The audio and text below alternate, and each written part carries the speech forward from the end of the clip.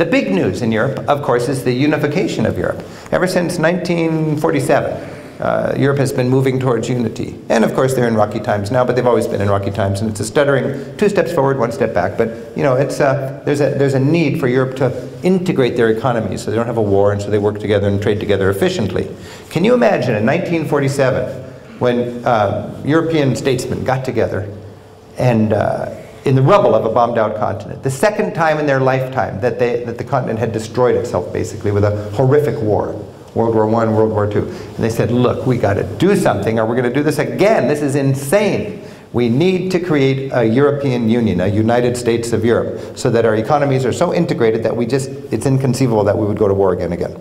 They have little peripheral wars maybe, but Germany and France, that's where you have your real war.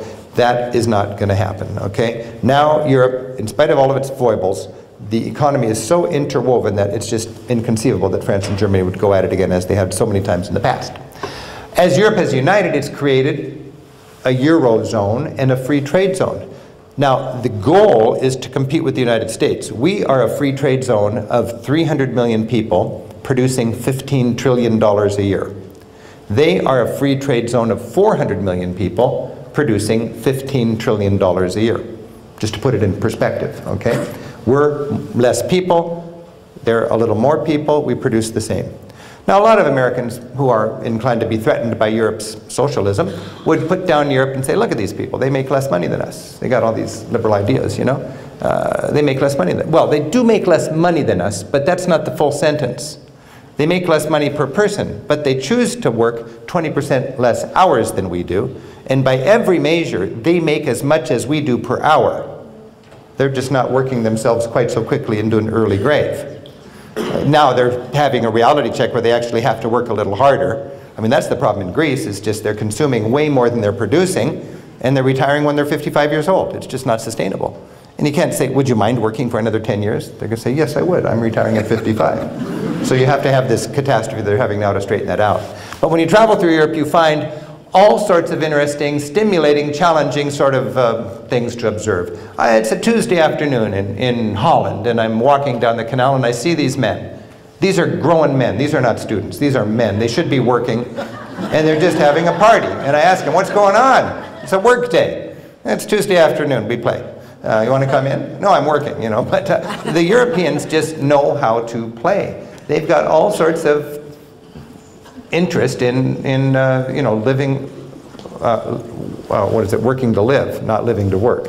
Uh, and they're, they're very proud about that. Now, of course, they, they work and they produce.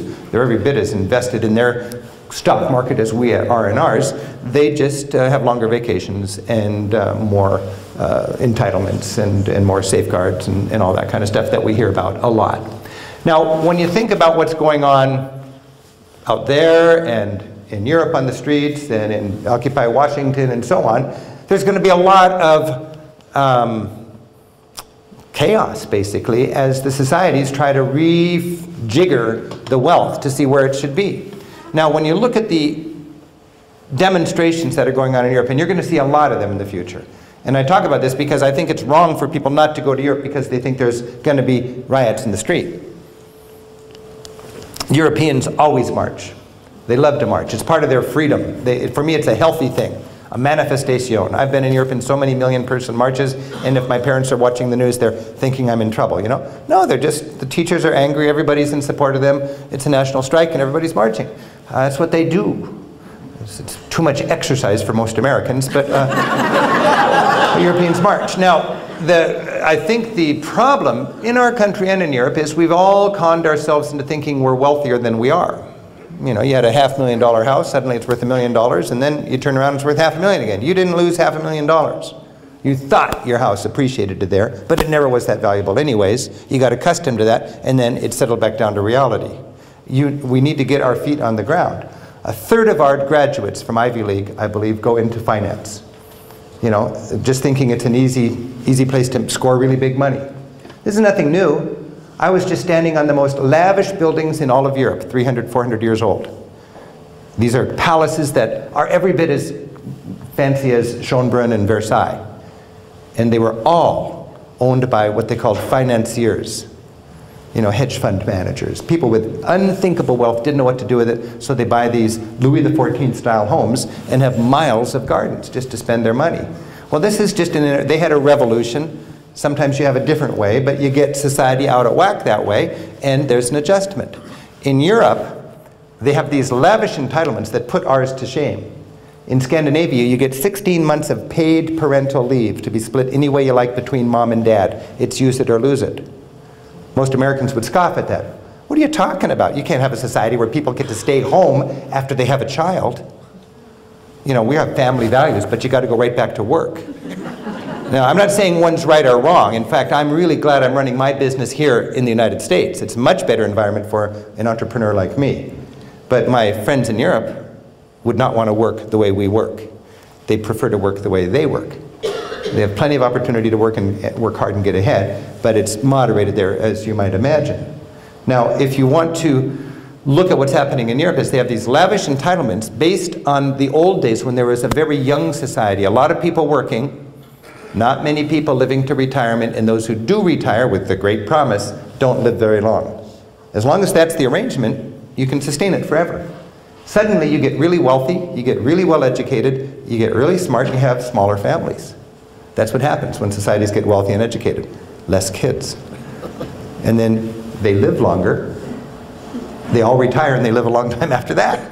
There's not enough kids working to keep the rich people comfortable, right? So what do you got to do? You got to tell these people who worked with the promise of a lavish retirement for 30 years, it's different now. We got to change the rules and you got to work 10 more years. That's what happened in Greece last year. If your friend is one year older than you and they got in and then you got into the same job, you worked just as hard for 30 years, your friend's retired and you got to work 10 more years. That's enough to get you down there burning a Starbucks also. and that's what's going on in Europe. Uh, it's interesting. It's going to be a very tough thing because by the nature of democracy, people don't like a politician who tells them the truth. You know, you, you throw them out and you get a politician that tells you what you want to hear. You don't have to suffer. You don't have to re, re figure it out you can still rearrange the furniture and all consume more than you produce. You see. So it's a very interesting time and I love watching it. I was just in Europe, I was just in Greece, I was just in Athens. Everything's fine over there.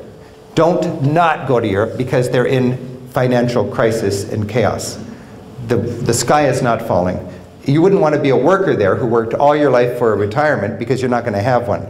But if you're a tourist going over there, have a nice lunch, and to see the museum and take a hike, it's, it's better than ever as far as I'm concerned. The big